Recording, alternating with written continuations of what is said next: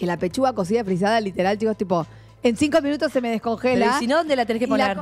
no, no, yo dije, o la descongelaste en el microondas. Capaz Bueno. que en el, en el corte no salió lo del microondas. Le- sí. Y ahí, tipo, a bromatología en casa no le gusta esto. Bueno, ahí está, ya, está Erika, ¿eh? Así que tenemos a Erika de bromatología. A ver en que nos diga que sí, Hola, que ¿me no. escuchan? Hola, Hola, Erika, Eri. ¿cómo estás? ¿Me escuchan? ¿Me escuchan Sí. bien? Perfecto. Sí, sí. Bueno, vi el video y no está tan mal lo que dice, pero hay una forma de hacerlo mejor. A ver. A ver. Eh, por ejemplo, ay, me escucho yo con un retorno. Está como No muy alto. Eh, no, se debe escuchar la, se debe escuchar la vuelta mientras lo, Ah. lo solucionamos. Eh, ahí estaban todas Dale. las respuestas de la gente que se preguntaba y se respondía en el mismo video y que eh, recién acaba de dar contexto un poco la lo que había pasado. Tiene mucha razón en que no hay que congelar cosas grandes porque eso afecta la calidad del alimento. Los congelamientos rápidos generan cristales chiquitos. Esos cristales chiquitos lo que hacen es que cuando uno descongele haya menos ruptura celular porque los cristales no son perfectos. Los cristales tienen eh, formas así puntiagudas y lo que hacen es romper la estructura celular. Cuanto más rápida es la congelación, más chiquitos son los cristales, por ende menos se van a romper esas estructuras cuando se descongele. En el centro de un alimento muy grande va a haber cristales grandes, entonces va a haber mucha ruptura celular y cuando haya descongelamiento la calidad de ese alimento va a estar mucho más afectada. Entonces sí, está bueno eh, frizar lo más finito que puedan y lo más chiquito que puedan para que se descongele más rápido, entonces la temperatura interna del alimento va a ser más alta y para que la calidad al descongelarse sea mejor y aparte se reabsorba más rápido y, y sea menor el agua que pierde. Entonces, por ende, menor la cantidad de nutrientes que pierda.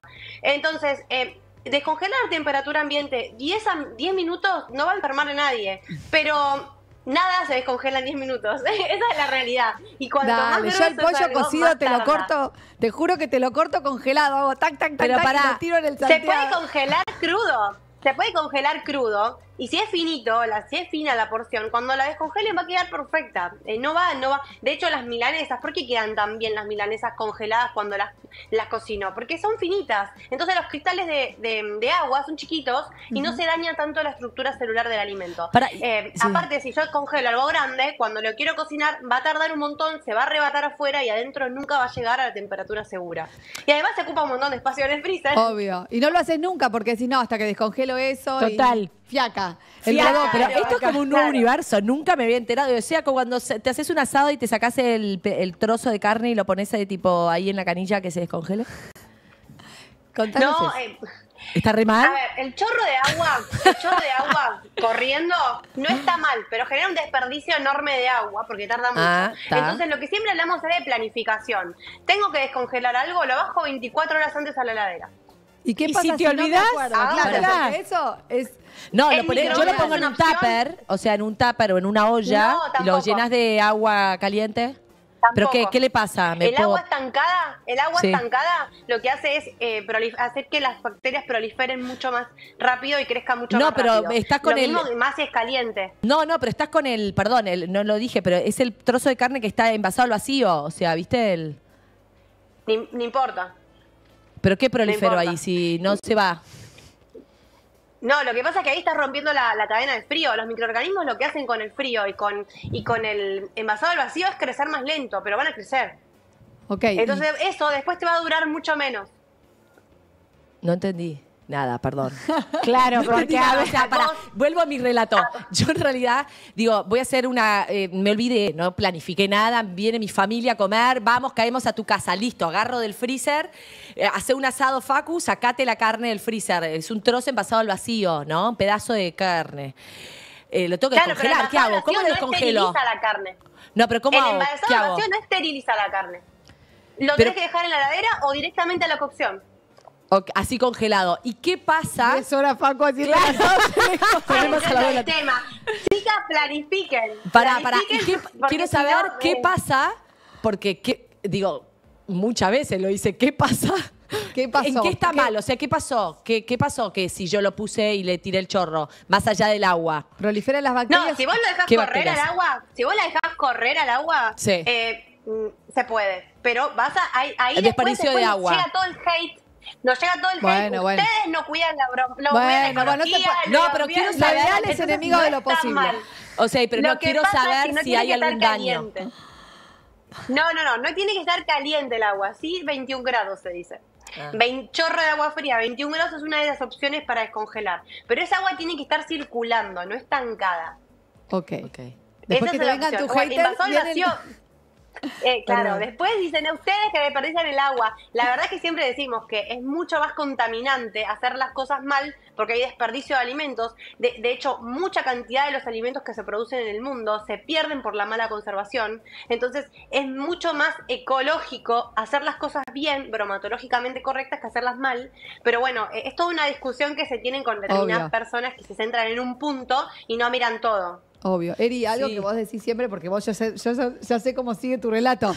Si esa carne después se cocina, ¿no se mata todo? Claro. Exacto. No. Digo, No. ¿cómo que no? Porque Ponele si yo que la carne la, metió- la llevo a más de 100 grados. ¿No bata bacterias a No. más de 100? Las, co- las cocciones lo que hacen es mm, destruir ya microorganismos a niveles seguros, que no enfermen a nadie.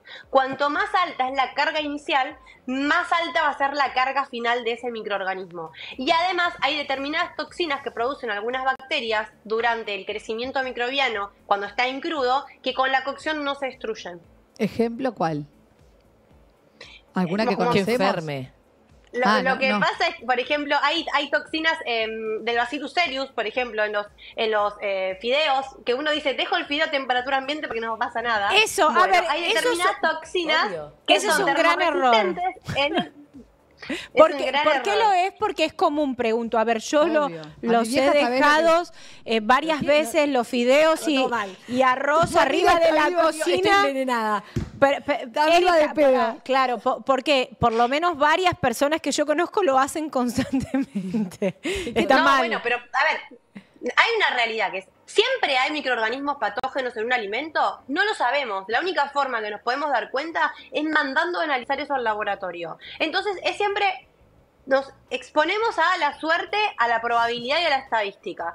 Pasó de determinados casos, hay un caso muy conocido que de, de- vez en cuando la noticia resurge, eh, si la pueden googlear, de un chico que se murió comiendo un arroz.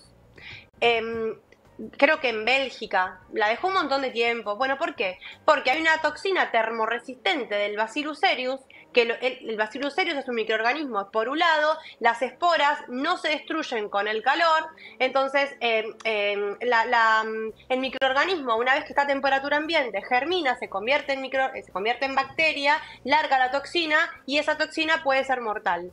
Eso es lo que pasó en ese caso con ese arroz, también pasa con los fideos. em, Pero eso por una noche te puede pasar. Una noche lo dejaste afuera. Sí, sí te puede pasar. Sí te puede pasar. Yo, yo siento Pero bueno, Mari, no que- sabemos. oh my God.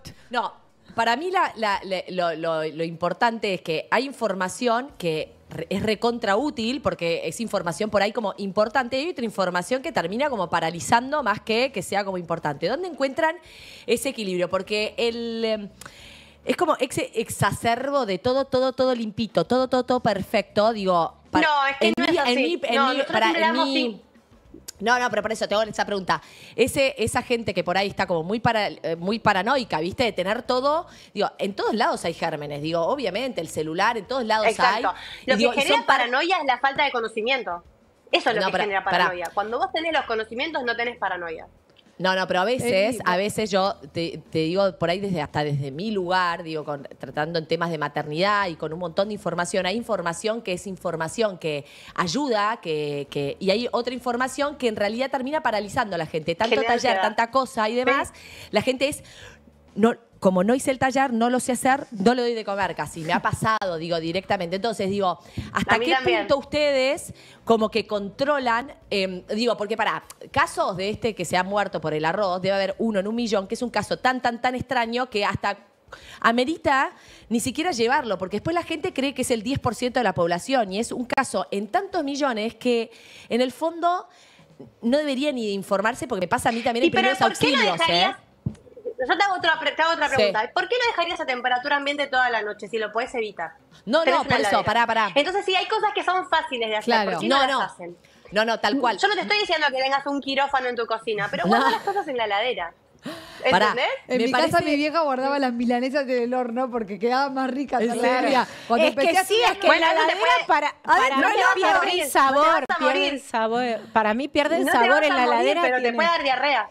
Claro, Claro. eso es lo que yo digo. Digo, a ver, es como que está bueno, digo, decir, no, miren, chicas, lo correcto, como decís vos, o hay una forma mejor, digo, eh, lo descongelarse. No, lo correcto y lo bien, no saludable. pasar nada. A ver, Agus, me parece que acá pasa por lo correcto y lo saludable. A ver, vos sacás, no es que tengas tu cocina como un quirófano, pero en algún punto sacás los fideos que los tendrías que dejar toda la noche, te acordás, los guardás en la heladera por una cuestión de salud.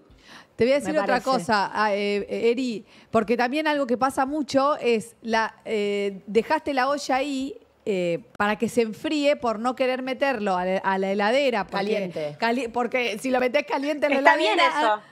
No, pero ponele Está bien digo, eso. Y, a- y qué es peor? ¿Meter el coso caliente en la heladera? Porque me tengo que ir a dormir. No, está- hay que dejarlo enfriar. Hay que. Lo que yo sugiero es que lo porcionen o lo, o lo Claro. pongan en recipientes más chicos para que se enfríe más rápido y Claro. cuando deja de humear, que está a temperatura ambiente, lo pueden guardar en la heladera. Y otra, Perfecto. siempre decimos, o sea, hay que tener cuenta muy pocas cosas. Nosotras no tratamos de no llegar a la paranoia. Yo estoy mamá de un bebé de 10 meses y veo la sobreinformación que hay respecto a la maternidad y me pasa lo mismo de otro lado. Claro. Entonces digo, bueno, hacer determinadas cosas. Guardar las cosas protegidas en la heladera, no cortes la cadena de frío, usar la heladera y el freezer, ¿por qué no las usan? Eh, entonces digo, ¿por qué no usa la heladera y el freezer? Si es algo tan fácil de hacer. Usa la heladera, usa el freezer, guardar las cosas protegidas y cocina bien los alimentos. Lavate las manos, ese es el- lo primero que hay que hacer, lavarse las manos. Después la gente se enfoca capaz que en otras cosas que no son tan importantes como lavarse las manos y pierde el foco en lavarse las manos. O pierde el foco en eh, cocinar bien la comida. Entonces, eso decimos, iba. determinadas cosas que son muy importantes, que son cinco o seis. Lo demás con es eso- la elección No, de cada uno. Y, y hay cosas como, por ejemplo, eh, la Escherichia coli y digo y Ay, el SUR y el síndrome urémico molítico, eh, o sea, es endémico en la Argentina. Obvio, eso es grave, o sea, eso es importante Contanos de eso, verdad. Eri. ¿Qué pasa con la carne picada? Porque escuchás a la abuela, a la cuidadora, que te dice, no, pero yo la cocino cuatro horas a la carne picada y le rompo todas las bolitas. Y vos decís, no, no se consume. ¿Ustedes se acuerdan cómo viajábamos nosotras en los autos? Lo hablamos chicos? recién. Justo lo hablamos hace un ratito. Nos viajábamos atrás. Yo he viajado en una camioneta tirada atrás con mi hermana siendo chiquitas. Sin butaca, sin. Bueno, pero si había un choque, la probabilidad de que a mí y a mi hermana nos pase algo era muchísimo más alta que si estuviéramos en una butaca. Lo mismo acá. Te puede nunca pasar nada, pero si hay un, te cruzas con un patógeno, tenés mucha más posibilidad de enfermarte y enfermarte gravemente. En el caso de la carne picada, no es una opción. La verdad es que es, hay un riesgo grande. Pueden googlear la cantidad de casos que hay. Lo- todos los casos terminan siendo graves, en mayor o menor medida. Los chicos que sobreviven. Entonces, no, no se recomienda, habiendo tantas cosas para darle a los chicos para comer desde, la- desde el inicio de la alimentación complementaria, ¿por qué en algunas personas hay como una obsesión por darles carne picada? Cuando se les puede dar un montón de otras cosas.